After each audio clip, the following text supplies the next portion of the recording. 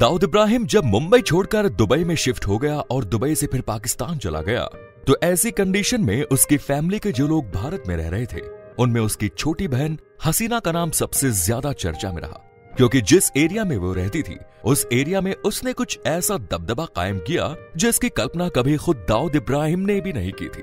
क्योंकि दाऊद ने अपनी इस बहन की शादी किसी अंडरवर्ल्ड या माफिया से नहीं की थी। एक साधारण सा रेस्टोरेंट चलाने वाला लड़का, जो फ़िल्मों में भी छोटा मोटा काम कर लिया करता था। उसे ही दाऊद ने अपना बहनोई बनाया। उसकी बहन हसीना बिल्कुल घरेलू थी, लेकिन उसकी ज़िंदगी में कुछ ऐसे सरकमस्टेंसेस बने कि वो जितनी खतरनाक बन गई, उतनी ही पत्थर दिल भी हो गई। तो चलिए आज के वीडियो में जानते हैं दाऊद की बहन हसीना का, हसीना पार्कर से मुंबई अंडरवर्ल्ड की आपा बनने का सफ़र। दाऊद मुंबई का भाई बना तो उसकी बहन हसीना मुंबई की आपा बनी। तो भैया, इस डिजिटल जर्नी में पूरे समय हमारे साथ साथ में रहिए। दाऊद इब्राहिम, मुंबई क्राइम ब्रांच में हेड कांस्टेबल रहे।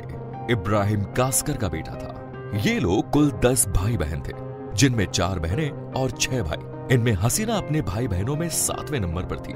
साल उन्नीस सौ उनसठ में हसीना का जन्म हुआ। दाऊद की चार बहनें सईदा, फैजाना, मुमताज़ और हसीना थी। दाऊद इब्राहिम अपने परिवार का बराबर ख्याल रखता था। जिसमें अपनी बहनों का ध्यान तो खास तौर से रखता था। दाऊद इब्राहिम ने अपने काले कारनामों का असर कभी भी अपनी बहनों की ज़िंदगी पर नहीं पड़ने दिया। साल 1981 में जब मुंबई पुलिस घर पकड़ और एनकाउंटर पर उतर आई तो दाऊद इब्राहिम यहाँ से भागकर दुबई चला गया और फिर दुबई से पाकिस्तान में जाकर सेटल हो गया।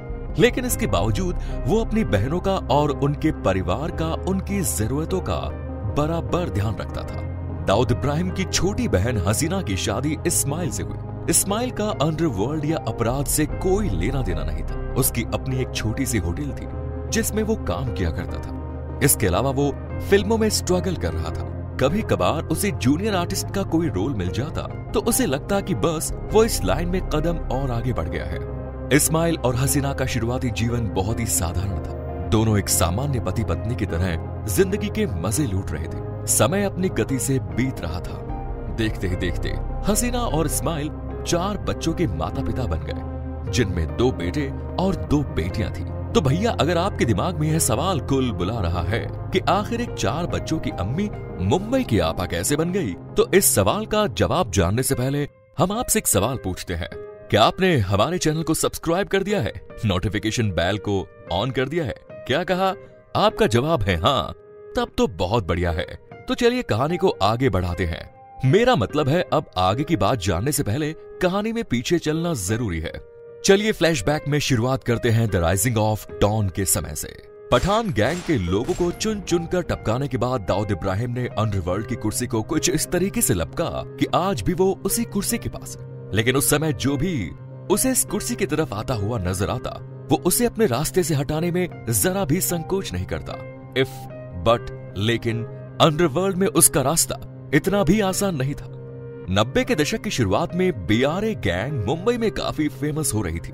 इस गैंग के तीन मुख्य लीडर थे बाबू रेशिम, रामू नायक और अरुण गवली। इस गैंग को खत्म करना दाऊद इब्राहिम के लिए चुनौती बन गया।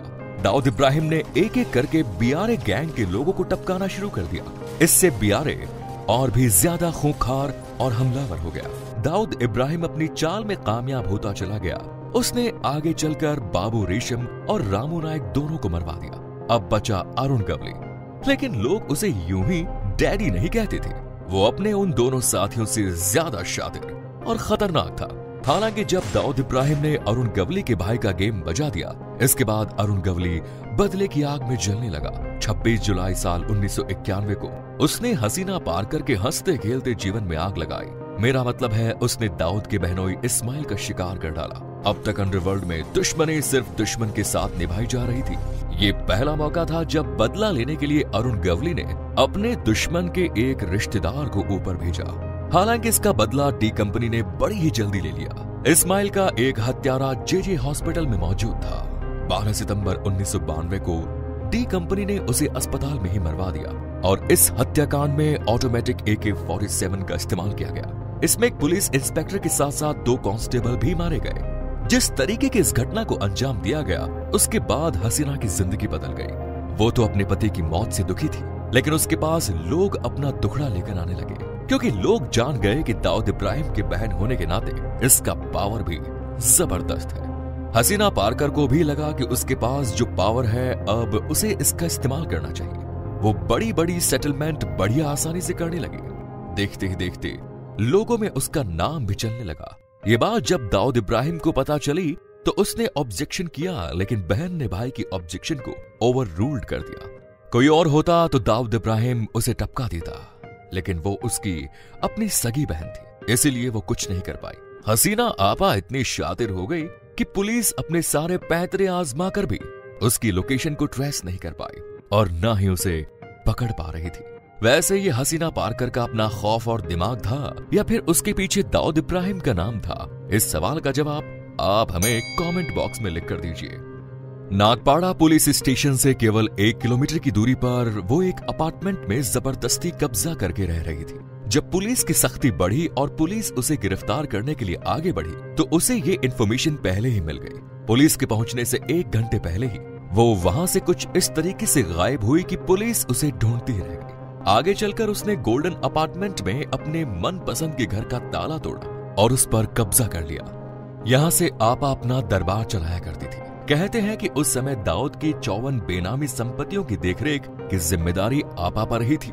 इसके बाद किसी की हिम्मत थी जो हसीना आपा पर हाथ डालने की कोशिश करे। लगभग आधी मुंबई पर उसका राज चलता था। उसकी मर्ज़ी के बिना ना तो कोई बिल्डर बिल्डिंग बना सकता था और ना ही किसी घर को कोई खरीद या बेच सकता था। साल 2006 में एसआरए यानी कि slum redevelopment authority full action mode में थी। तब हसीना आपा ने उड़ता हुआ तीर लिया। उसने बिल्डर कृष्णन मिलान शुक्ला और ब्रोकर चंद्रेश शाह को साथ लिया।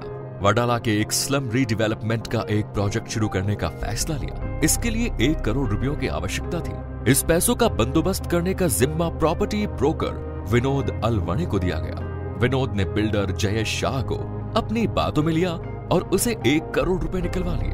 लेकिन किसी कारण से यह प्रोजेक्ट शुरू नहीं हो पाया। इसके बाद जयेश शाह ने अपने पैसे विनोद से वापस मांगे और विनोद ने हसीना से पैसे वापस मांगे। पैसे तो वापस हो गए, लेकिन केवल सत्तर लाख रुपए ही थे। और ये कहा गया कि हसीना आपा ने अपने प्रोडक्शन के 30 लाख रुपए काट लिए। ये एक तरह की अवैध वसूली थी जिसे फिरौती में कह सकते हैं।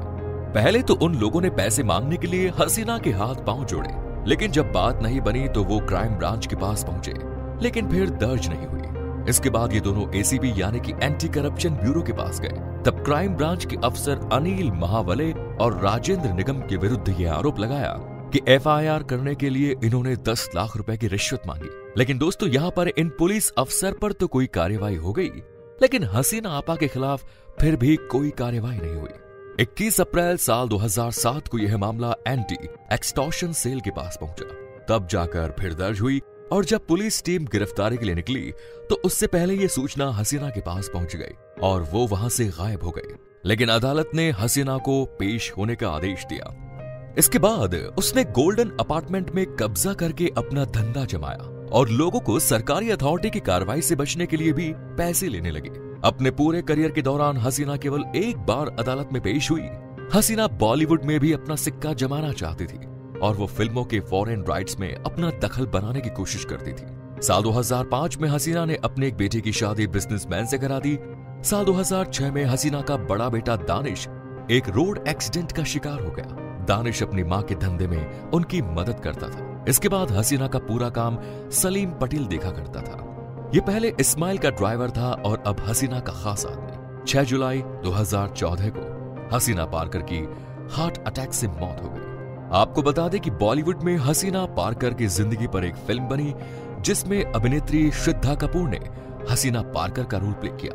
बताया जाता है कि हसीना पारकर अपने पीछे पाँच हज़ार करोड़ से ज़्यादा की संपत्ति छोड़कर गई है। तो ये था आज का वीडियो कैसा लगा? चैनल को सब्सक्राइब ज़रूर करें। धन्यवाद।